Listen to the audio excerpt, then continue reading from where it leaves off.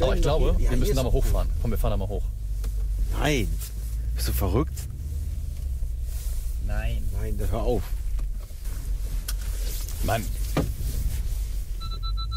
Nein, Mann. hör auf. Joschka, ehrlich. warum? Nein.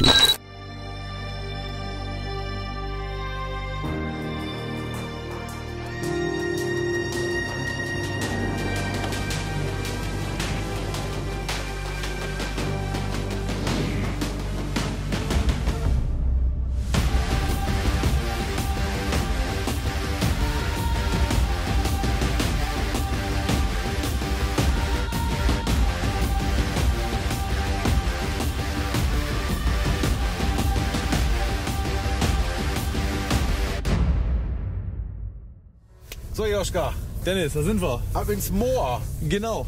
Wollen wir da sofort hin? Lass mal durch die Stadt fahren. Einmal durch die Stadt? fahren. Wo sitzt man eigentlich drin? Genau. Mercedes G500, Bam. also die nagelneue G-Klasse, Ja. ähm, mit dem neuen 4 Liter V8 Biturbo-Motor, sprich 422 PS, schnelles Auto. Wir haben jetzt ein geiles Fahrwerk, wir haben eine geile Lenkung, Wir haben ein neues Lenkrad. wir haben ein neues Lenkrad, Wir haben ein neues Display. wir haben ein neues Display. Wir haben eigentlich ist alles an diesem Deine Auto neu. Schuhe sind neu. die ja, sind heute die nicht Jacke neu. ist neu. Es ist alles neu. naja, also Spaß beiseite. Also, was genau werden wir noch in den nächsten drei Stunden erfahren? Die Züge des G-Modells sind geblieben von außen. Ja. Kann man optisch auf jeden Fall erkennen, dass es immer noch das Ur-G-Modell ist. Mhm. Und ähm, von innen, ganz wichtig, der ist noch da. Den brauchen wir gleich Den vielleicht. brauchen wir gleich vielleicht, genau. Und ansonsten ist hier wirklich alles rundum erneuert. Ja. So, ganz kurz mal eben ähm, Design vorne Display. Ist Ja. natürlich so richtig. Äh, Luxus pur. Ja, Ja. also auch hier natürlich ähm, umschaltbar, also Design wechselbar. Genau, ne? wir können die Tachostile ändern, ähm, wir können uns den Display ändern, wir können uns ein Zusatzdisplay hinlegen, sodass wir meinetwegen das Radio und die Navigationskarte offen haben. Ja. Oder halt die Navigationskarte ins, in den Tacho legen. Und, ähm, Da haben wir sie schon. und ich kann auch alles quasi über das neue Lenkrad steuern. Ne? Genau. Links ist quasi der linke Bereich, linke Display und rechts Rechts ist Display ja nicht richtig, ja, ne? Gen- ja, Screen. Ja. Display. Das Ganze nennt sich ja Widescreen Cockpit, Ja. aber es führt ja aus zwei 12,3 Zoll Displays, also dementsprechend ist das schon vollkommen richtig. Und du hast schon richtig gesagt, ähm, mit der linken Seite können wir das komplette Tacho bedienen, Mhm. mit der rechten Seite das komplette Komal. Sprich, wir brauchen unser Handy nicht mehr vom Lenkrad nehmen, ähm, was natürlich auch einen sehr großen Vorteil bringt. Wie groß ist eigentlich so, ein, so, ein, so eine G-Klasse? Also die G-Klasse ähm, ist schon relativ groß.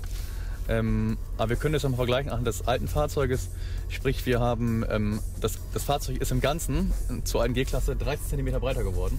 Ja. Wenn du dich erinnerst, wir haben ja mal den, äh, den alten G gefahren. Ja. Da saß man schon sehr dicht beieinander.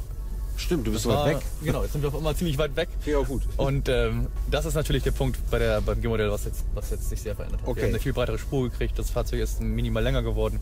Und ähm, was ganz wichtig ist, wir haben jetzt vorne eine Einzelradaufhängung. Das heißt, es bringt uns noch mehr Komfort und natürlich noch bessere Fahreigenschaften. Zudem haben wir noch das Burmester Surround-System. Also mal eben nebenbei Also- erwähnen.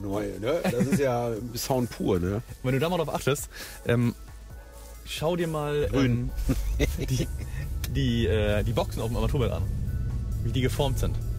Und dann darunter dieses kleine runde, die kleine runde Lüftungsdüse. Ja, das ist natürlich alles aufeinander abgestimmt. Genau, und woran erinnert dich das?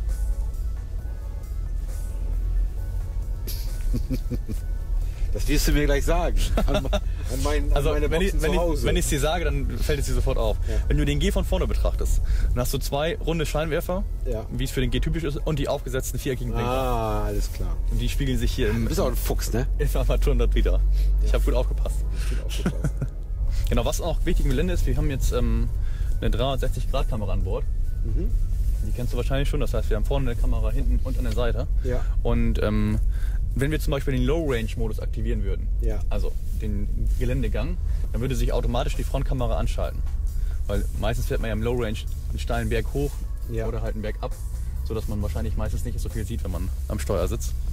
Aber kommen wir jetzt noch mal zur Differentialsperre. Ja. Wir sitzen jetzt hier, jetzt wird schon ein bisschen ruppeliger. Ja. Ja, ja okay. Ne? Ähm, wann setzt man die jetzt ein? Die Differentialsperre setzt man zum Beispiel, ähm, meinetwegen, du bist, bist im Gelände und ähm, ein Rad hat Schlupf verloren. Das heißt, meinetwegen hängt in der Luft und kann dementsprechend keine Leistung auf die Straße bringen oder keinen, keinen Grip auf die Straße. Ja. dann würdest du die Differentialsperre vorne anschalten und dann würden sich beide Räder gleichzeitig drehen. Ah. Dementsprechend würdest du so aus dem Loch wieder rausfahren. Ah. Also hier ist ja noch, Naja. hier ist ja noch kein Gelände eigentlich, ne? Schon, du bist jetzt schon weit Schon- oben. Wir können ja mal, ich kann dir mal was zeigen. Wir können ja mal unsere Fahrzeugdaten anmachen. Dann siehst du nämlich auch gleich direkt, ähm, wie sich das Fahrzeug neigt und ähm, wo wir uns gerade so befinden. Siehst du das? Also du kannst den Lenkanschlag sehen, du kannst die Neigung sehen und ähm, Ach, das kann man da jetzt auch direkt Ja. sehen. die geht natürlich einiges mehr an Neigung. Aber auch hier, ne? Das sind mega Löcher, das sieht man Ja. jetzt von hier gar nicht. Das sind mega Löcher, ist alles gefroren. Aber es ist trotzdem noch, Entspannt. noch nicht so schlimm. Ja. Jetzt, jetzt natürlich ein bisschen mehr. Mamma mia, Mamma mia, Mamma mia, let me go. Joschka, wollen wir den nicht mal von draußen begehen? Meinst du, dass wir von außen auch mal einen kleinen Ausblick kriegen auf das Auto? Ja, ich möchte einmal drum rumlaufen, weil du erklärst immer so toll. Und ich würde einmal, ich einmal den Kofferraum, weißt du, vorne die Lämpchen. Du willst auch mal hinten Ich sitzen. würde einfach mal alles sehen. So Dennis. Und jetzt meinst du von außen angucken? Schaka. Auf geht's.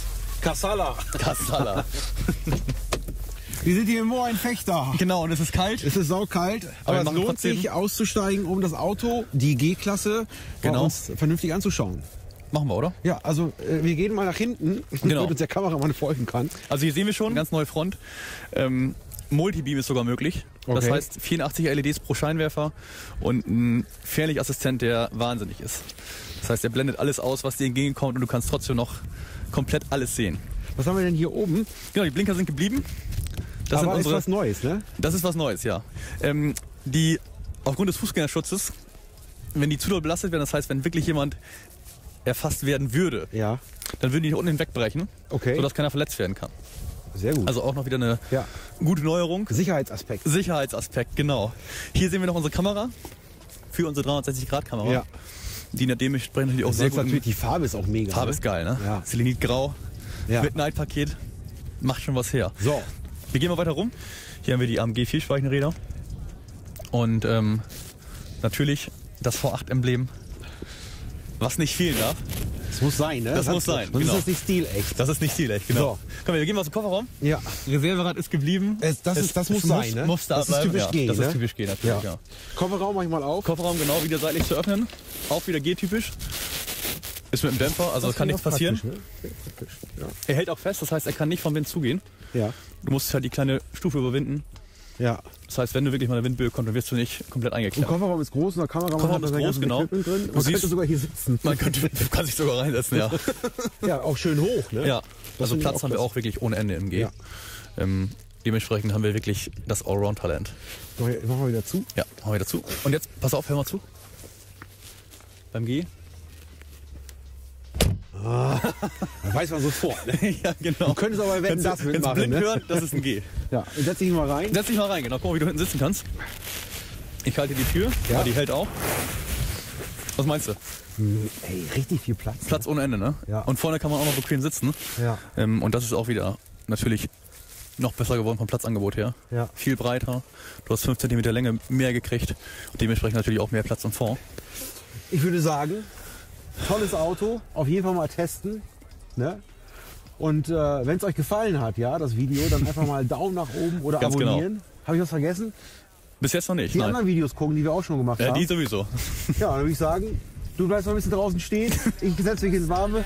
Bis bald. Bis zum nächsten Mal. Go down to the open mic, show love to the real ones that know now. Some of y'all don't know now. In a couple months, you gon' find out. Been blowing up from the underground, and they stepping on a landmine now. And they know it's my time now. Coming up, I'm on a climb now. Everybody claim they been ballin', but it's looking like they took a time out. Okay, I'm working on a Wednesday, then up again the next day. So much-